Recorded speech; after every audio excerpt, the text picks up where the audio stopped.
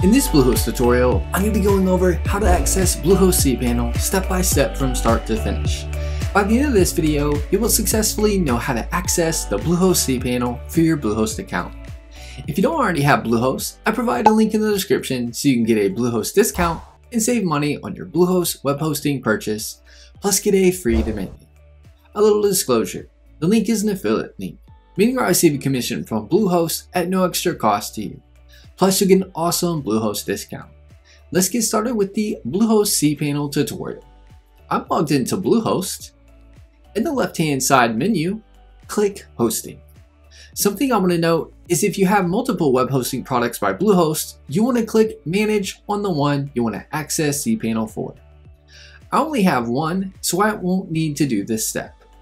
From here, scroll down to the Quick Links section, you'll see cPanel.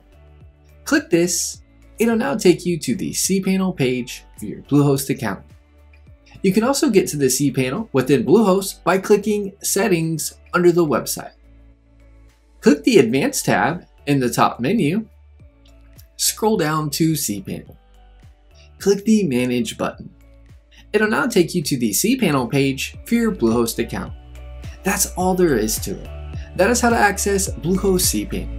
Give this video a thumbs up and leave us a comment. Links know if the tutorial was helpful or not, as the comments help improve our tutorials.